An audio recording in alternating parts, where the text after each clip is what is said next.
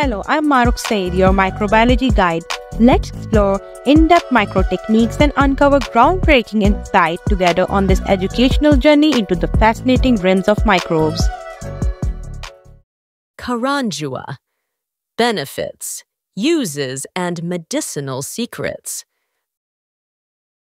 Table of Contents Introduction Botanical Description geographical distribution, traditional uses, medicinal properties, environmental importance, economic importance, cultivation and propagation, potential side effects. Introduction Karanjua, scientifically known as Pongamia pinnata, is a leguminous tree that belongs to the Fabaceae, Pia family, commonly referred to as Indian beech, Karanja, Honge, or Dithuri in various regional languages across South Asia. It is a medium to large deciduous tree that can reach heights of 15 to 25 meters with a wide, spreading canopy. Native to tropical and subtropical regions of Asia, including India, Bangladesh, Myanmar, Sri Lanka, and parts of Southeast Asia. Naturally found along riverbanks, coastal areas, roadsides, and in degraded soils where few other trees thrive. It is well adapted to harsh conditions such as saline soils, waterlogging, drought, and high temperatures. The tree produces beautiful, fragrant, purplish white flowers that bloom in clusters and attract bees and butterflies. Its seeds are enclosed in woody pods and contain non edible oil known for its pesticidal and biofuel potential. Karanjua is considered a sacred tree in many Indian communities and is traditionally planted near temples or water bodies. It holds significance in Ayurveda and folk medicine due to its broad spectrum therapeutic properties known for its soil enriching ability due to nitrogen fixation, making it valuable in agroforestry and reforestation programs. The tree plays a vital role in sustainable agriculture, environmental conservation, and renewable energy initiatives. It is highly valued by local communities for firewood, oil production, natural pesticides, shade, and livestock fodder. As a fast growing, low maintenance plant, it is often promoted in social forestry and bioenergy projects. If you have watched till here, don't forget to subscribe to Family of Science Lovers. Press the bell icon button so you are always updated. Botanical description Height typically grows up to 15 to 25 meters tall with a broad, spreading crown that provides ample shade. Crown shape, dense dome shaped canopy with extensive lateral branching, making it ideal as a shade tree. Leaves, pinnately compound, usually with five to nine leaflets arranged alternately. Leaflets are oval to elliptic in shape, smooth edged, and glossy on the upper surface.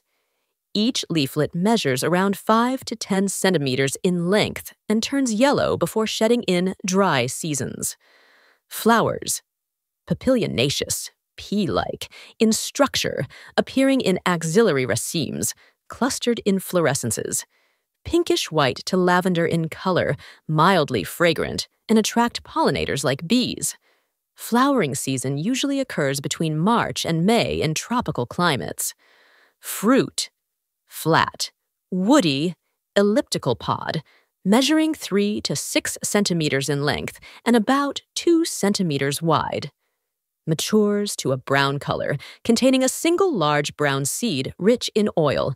Pods do not split open upon drying, indehiscent. Seed, oily and brown, about the size of a small marble, contains non edible oil rich in karanjin and pongamol. Bark, rough, dark gray to brown, with deep vertical fissures. Exudes a bitter, yellowish resin when cut or injured. Roots, Deep tap root system with extensive lateral roots. Contains nitrogen fixing nodules in association with rhizobium bacteria, improving soil fertility. Geographical distribution widely distributed in tropical and subtropical regions of South Asia, Southeast Asia, and the Pacific Islands. Native to the Indian subcontinent and naturalized across many parts of Asia and Oceania. Found abundantly in India, especially in states like Tamil Nadu, Andhra Pradesh, Maharashtra, and Karnataka. Common in Bangladesh, Sri Lanka, Nepal, Pakistan, and Myanmar, where it grows naturally in both rural and urban areas. Also thrives in Southeast Asian countries such as Thailand, Malaysia, Indonesia, Vietnam, and the Philippines. Extensively planted in Pacific islands, including Fiji and Papua New Guinea, due to its adaptability introduced to East Africa and parts of Australia for reforestation and agroforestry purposes. Prefers low altitude regions, but can grow up to 1,200 meters above sea level in tropical climates. Commonly found along riverbanks, lakesides, canals, coastal belts, and salt affected lands thrives in degraded, rocky, saline, or alkaline soils where most commercial crops cannot survive. Resistant to waterlogging, drought, and wind, making it ideal for erosion control and marginal land reclamation. Often seen lining roads, railway tracks, and irrigation channels as a shade and boundary tree. Traditional uses Seeds, traditionally crushed to extract thick, dark oil used for lighting oil lamps in rural households. The oil, known as karanja oil, is used as a natural insecticide and pesticide in traditional agriculture. Cake left after oil extraction is applied to soil as a biofertilizer and pest repellent. Leaves, used as green manure to improve soil fertility in crop fields. Fed to cattle and goats as fodder, though not highly palatable, it is used during scarcity. Crushed leaves are applied to skin for wound healing and insect bites in traditional remedies. Dried leaves placed in grain storage to repel insects naturally. Twigs, used as chewing sticks, datin, for cleaning teeth and maintaining oral hygiene in rural communities, believed to have antibacterial properties beneficial for gum health. Bark. Ground bark mixed in decoctions for treating fever, diarrhea, and skin diseases in folk medicine. Bark extracts used in Ayurvedic and Siddha medicine as an astringent and tonic. Flowers.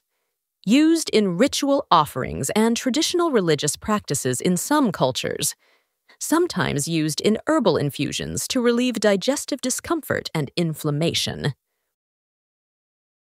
Wood, employed in the making of plows, tool handles, and firewood due to its strength and availability, used in rural construction for roofing, fencing, and cart making cultural significance, planted in village peripheries, and temples for its shade and spiritual value. Considered a sacred tree in some Indian traditions due to its healing properties and environmental benefits. Medicinal properties Antibacterial Seed oil and aqueous leaf extracts possess potent antibacterial activity, traditionally applied to skin infections, boils, and abscesses, effective against certain gram positive and gram negative bacteria. Anti inflammatory. Decoctions made from leaves and bark are used to relieve swelling, joint pain, and rheumatism. contains compounds like karanjin and pongamol, which exhibit strong anti inflammatory effects. Anti diabetic. Leaf and seed extracts are studied for their hypoglycemic effects, traditionally used in Ayurveda to manage type 2 diabetes mellitus by regulating blood sugar levels. Anthelmintic. Seed extracts are used to treat intestinal worm infestations. Traditional medicine practices administer leaf juice or decoctions to expel roundworms and threadworms. Antioxidant. Bioactive compounds in the leaves and bark scavenge free radicals, protecting cells from oxidative damage, helps in reducing risk of chronic diseases such as cancer and cardiovascular conditions. Wound healing. Karanja oil is applied topically on cuts, bruises, skin ulcers, and fungal infections, promotes tissue regeneration, and protects wounds from secondary infection. Antifungal shows inhibitory action against fungal pathogens such as Candida and Aspergillus species, used in treating scabies, eczema, athlete's foot, and ringworm. Skin protection. Oil is used in formulations to treat psoriasis, acne, and eczema. Offers natural UV protection and is used in herbal sunscreens and ointments. Hepatoprotective some studies suggest bark and leaf extracts may have liver protective properties, used traditionally to treat jaundice and liver disorders. Environmental importance. Karanjua is an excellent nitrogen fixing plant that enriches soil fertility through symbiotic association with rhizobium bacteria in its root nodules. It plays a vital role in reclaiming degraded, saline, alkaline, and waterlogged soils where most plants cannot grow. Commonly used in agroforestry systems to improve soil structure, increase crop productivity, and reduce dependence on chemical fertilizers. Extensively planted in afforestation and reforestation programs due to its fast growth and hardiness in poor soils helps control soil erosion with its extensive root system that binds and stabilizes the soil, especially on slopes and riverbanks. Functions as a windbreaker in farmlands, protecting crops from strong winds and conserving topsoil. Enhances biodiversity by providing nectar rich flowers that attract bees, butterflies, and other pollinators offers habitat and shelter for birds, insects, and small mammals, supporting ecological balance.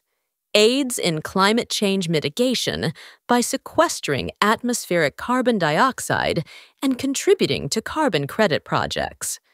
Often used in greenbelt development and roadside plantations in urban and semi urban areas for environmental protection. If you have watched till here, don't forget to subscribe to Family of Science Lovers. Press the bell icon button so you are always updated. Economic importance. Karanj oil extracted from the seeds is a promising biofuel alternative to diesel, offering a renewable, eco friendly, and sustainable energy source. The oil is widely used in the manufacture of soaps and detergents, providing a natural base with cleansing properties. Contains bioactive compounds like karanjin and pongamol that act as natural pesticides and repellents, reducing reliance on synthetic chemicals in agriculture. The timber is valued for making agricultural tools, furniture, fuel wood, and small scale construction materials due to its durability and availability. Karanja oil is an important ingredient in cosmetics and herbal personal care products, such as skin creams, hair oils, and lotions, known for moisturizing and protective benefits. Byproducts such as seed cake are used as organic fertilizer and soil amendment, supporting sustainable farming practices. Cultivation of Karanjua provides employment opportunities in rural areas related to oil extraction, processing, and product manufacturing. The tree's multi purpose use makes it economically valuable for smallholder farmers, agro industries, and renewable energy sectors.